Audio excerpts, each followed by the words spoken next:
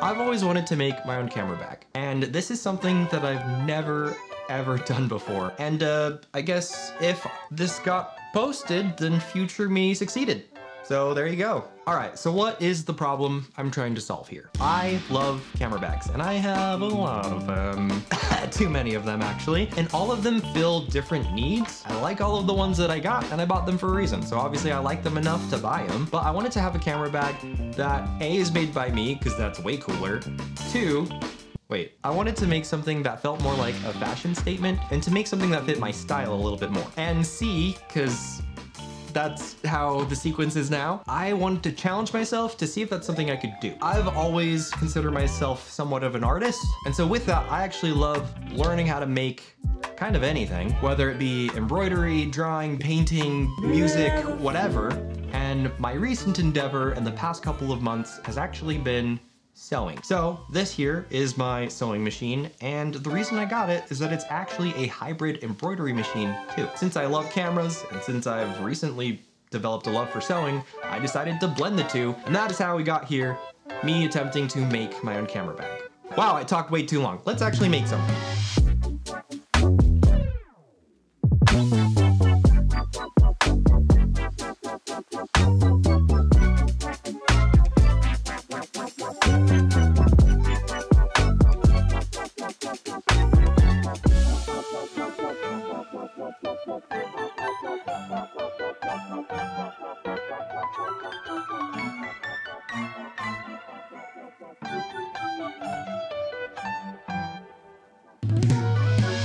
Okay, I think I finally landed on a design. I wanted something that would be more in the line of a day pack, something somewhat smaller, lighter. I actually was thinking of doing more of a side bag slash crossbody fanny pack style bag. So yeah, let me sh show you what I did. So following the inspiration from my mood board, I actually really liked the design of this bag that I already have. And this particular bag, I actually found in a thrift store 10 years ago for like 20 bucks. Really love these colors. It feels very like retro, I guess? I want like a refreshed retro. And realize that that rough size and form factor would be great for my design too. And trust me, this took a lot of workshopping. I even made versions out of paper just so I could get this thing right. And for the low, low price of free, I'm gonna give you guys this pattern if you would like to make it too. Actually, it's not free, you should sub subscribe. I feel like that's only fair. Now we can actually get to the sewing machine and, and make things. Oh, I'm so excited.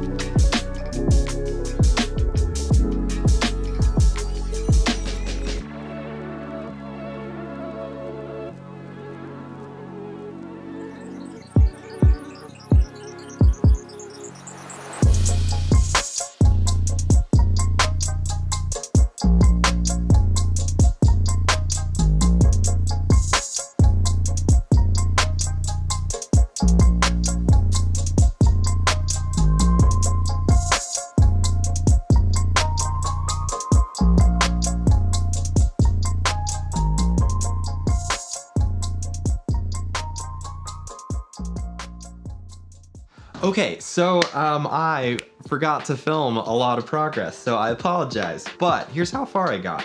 We have a lid. Um, and I decided to add some interior pockets. And I'm using a water-resistant zipper. So that'll be like the main compartment, protecting all the goods inside the bag. This is the front pouch area, and um, it looks a little funky right now, but it will actually fold right here, making this kind of like trapezoid shape of the bag, uh, matching the lid, of course. And um, let me show you what those look like together. All right, so yeah, that's um, that's looking pretty good. I mean, half the bag done. But uh, yeah, that's pretty good progress. Got this cute little bugger right here. Get all the batteries and such in there. And then I think I might actually add some Velcro to this pocket right here. So when the lid is like this, or and you open it like this, you're reaching down. So gravity is holding it in place. This is the part I, I didn't think about.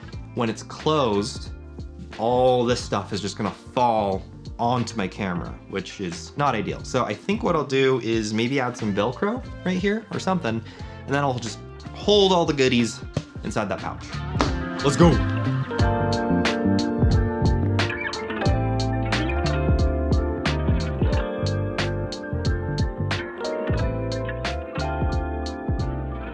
So this is how far I've gotten.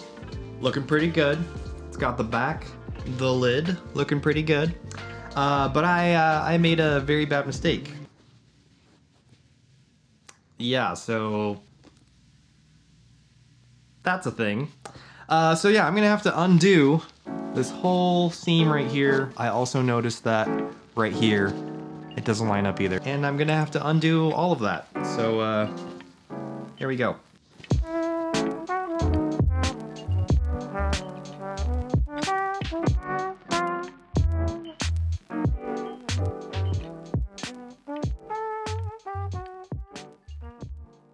All right, so this is how the bag's looking now. Um, obviously looks kind of awful because it's inside out. But the next step right now, you see all these raw edges here? These are not looking super great. And um, in hindsight, I probably should have done the liner as a separate layer. Uh, the material is so thick now that my sewing machine, bless its heart, cannot make it through all these layers, which is uh, kind of a bummer. I might actually just glue it.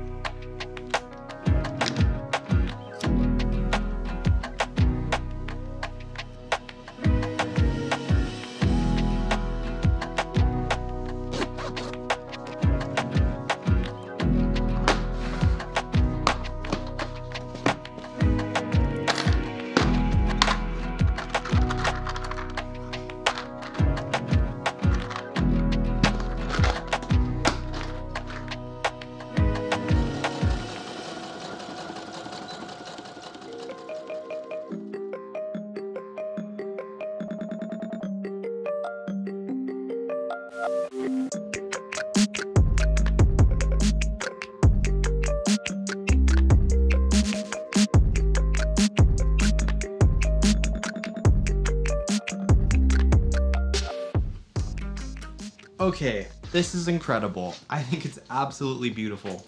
And is it perfect? Uh, no, there are quite a few mistakes that I've made, and um, I don't recommend doing this little corner. I thought it'd be a little cooler to kind of slim it down at the corners, kind of do this little like soccer ball triangle thing here. That was super hard. That was probably the hardest part of this whole thing were these little corners. So in the pattern that I'm giving you guys, I'm gonna recommend you just skip that entirely because that probably isn't worth it. And uh, yeah, thank you guys so much for watching. It means the world to me. If you like this video, like it. It actually makes a difference. Do not forget to subscribe for more videos like this. And uh, for whatever else you want to see. I don't know. It's your life. okay, I'm done. Th this was fun. All right, bye.